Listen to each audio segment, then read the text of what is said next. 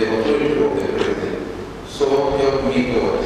and bear true allegiance to the President of the Republic of Zambia. And you, permanent secretaries, I want to warn you don't go and sit in the office and start peddling gossip. Tour your provinces, tour your districts, find out the difficulties which are there. You have the vehicles, you have the money, you have everything.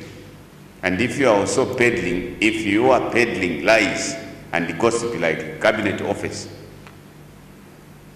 you will go faster than you came.